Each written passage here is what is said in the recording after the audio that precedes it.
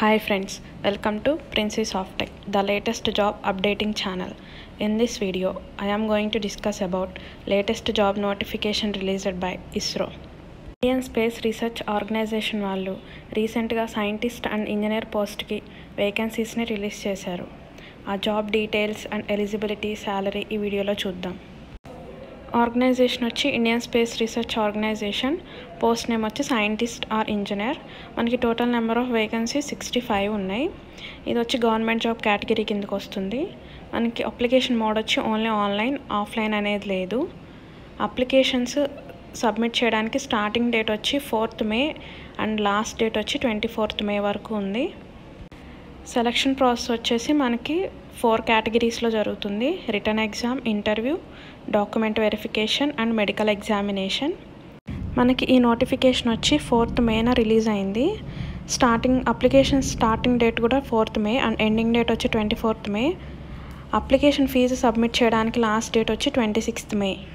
Next vacancies details చూస్తే మనకి post name వచ్చి scientist or engineering civil department. దీనికి థర్టీ నైన్ వేకెన్సీస్ ఉన్నాయి. ఎలక్ట్రికల్ ఇంజనీరింగ్లో సైంటిస్ట్ ఆర్ ఇంజనీర్కి ఫోర్టీన్ వేకెన్సీస్ ఉన్నాయి. రిఫ్రిజరేషన్ అండ్ ఎయిర్ కండిషనింగ్ డిపార్ట్మెంట్లో వాళ్ళకి నైన్ వేకెన్సీస్ ఉన్నాయి. సైంటిస్ట్ ఆర్ ఇంజనీరింగ్ ఆర్కిటెక్చర్ డిపార్ట్మెంట్లో వాళ్ళకి వన్ వేకెన్సీ ఉంది. Next scientist or engineering civil autonomous body వాళ్ళకి one vacancy. And scientist and engineering architecture autonomous body వాళ్ళకి వన్ వేకెన్సీ. టోటల్ మనకి sixty five vacancies ఉన్నాయి. నెక్స్ట్ అప్లికేషన్ ఫీజ్ డీటెయిల్స్ చూస్తే SC ST physically handicapped female candidates వీళ్ళెవరు application fee pay చేయాల్సిన అవసరం లేదు. General OBC candidates వాళ్ళు two fifty rupees pay చేయాలి. అప్లయింగ్ ప్రాసెస్ చూస్తే ఇస్రోల్ అఫీషియల్ వెబ్సైట్కి లాగిన్ అయ్యి అక్కడ recruitment post of scientist or engineer అని చెప్పేసి ఉంటుంది. ఆ లింక్ మీద క్లిక్ చేస్తే మనకు అప్లికేషన్ ఫామ్ అనేది ఓపెన్ అవుతుంది. దాన్ని ఫిల్ చేసిన తర్వాత మనం డాక్యుమెంట్స్ అనేవి అప్లోడ్ చేసి ఫీజు పే చేయాల్సి ఉంటుంది. నెక్స్ట్ ఎడ్యుకేషనల్ క్వాలిఫికేషన్ చూస్తే scientist or engineering civil department వాళ్ళకి సివిల్ ఇంజనీరింగ్లో సిక్స్టీ ఫైవ్ పర్సెంట్ మార్క్స్ వచ్చి ఉండాలి. లేదా సీజీపీఏ ప్రకారం అయితే టెన్ పాయింట్స్కి సిక్స్ పాయింట్ ఎయిట్ ఫోర్ వచ్చి ఉండాలి. Next scientist or engineering in electrical department వాళ్ళైతే ట్రిపుల్ ఈలో సిక్స్టీ ఫైవ్ పర్సెంట్ మార్క్స్ వచ్చి ఉండాలి.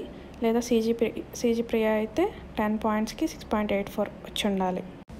Next scientist or engineer refrigeration and air conditioning ఈ డిపార్ట్మెంట్ వాళ్ళకి క్వాలిఫికేషన్ వచ్చి mechanical engineering with air conditioning and refrigeration.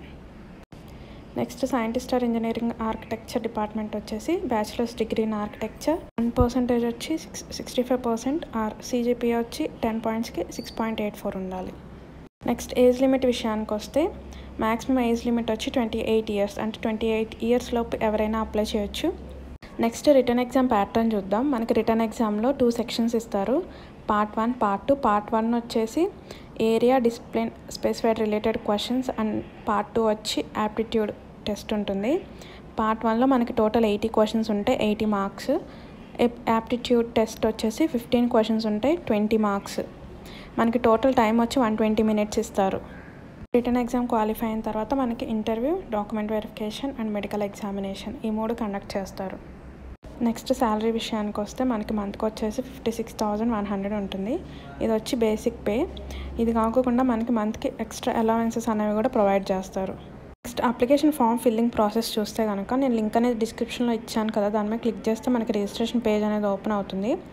కిందికి స్క్రోల్ చేస్తే మనకి ఇక్కడ మనం ఏ పోస్ట్కి అప్లై చేయాలని చెప్పి పోస్ట్ నేమ్స్ అన్ని మెన్షన్ చేసి ఉంటాయి.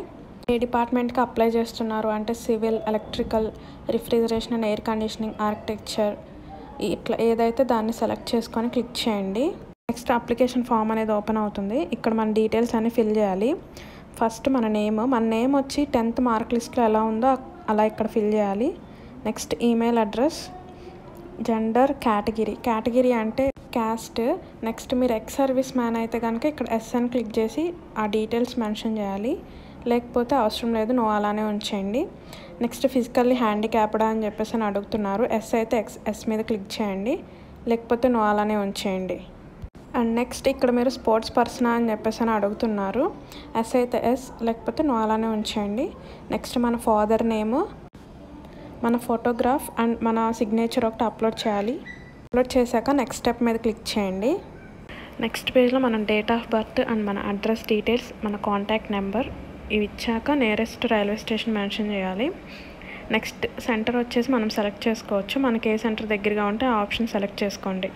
నెక్స్ట్ స్టెప్ త్రీలో మన ఎడ్యుకేషన్ క్వాలిఫికేషన్ గురించి మెన్షన్ చేయాలి. మనకి రిజల్ట్స్ వస్తే ఆల్రెడీ డిక్లేర్డ్ అని మెన్షన్ చేయండి. రాకపోతే అవైటెడ్ అని చెప్పేసి మెన్షన్ చేయండి. నెక్స్ట్ స్టెప్ ఫోర్లో మన ఇన్స్టిట్యూట్ డీటెయిల్స్ మెన్షన్ చేయాలి. Institute name university name and మన ఇయర్ ఆఫ్ పాసింగ్ అనమాట month year of passing mention చేయాలి. నెక్స్ట్ మన ర్యాంక్ని సెలెక్ట్ చేసుకోవాలి. మీరు ఫస్ట్ అయితే ఫస్ట్ సెకండ్ అయితే సెకండ్ థర్డ్ అయితే థర్డ్. ఈ మూడు కాకపోతే other than first second third ఈ ఆప్షన్ సెలెక్ట్ చేసుకోండి. నెక్స్ట్ నెక్స్ట్ స్టెప్ మీద క్లిక్ చేయండి. నెక్స్ట్ ఫిఫ్త్ స్టెప్లో మన టోటల్ నెంబర్ ఆఫ్ సెమిస్టర్స్ని మెన్షన్ చేయాలి. నెక్స్ట్ స్టెప్ సిక్స్ వచ్చేసి మన మార్క్స్ అనేవి మెన్షన్ చేయాలి. మార్క్స్ అయితే మార్క్స్ లేకపోతే సీజీపీ అయితే సీజీపీఏ టోటల్ ఎయిట్ ఎయిట్ సెమిస్టర్స్వి మెన్షన్ చేయాలి.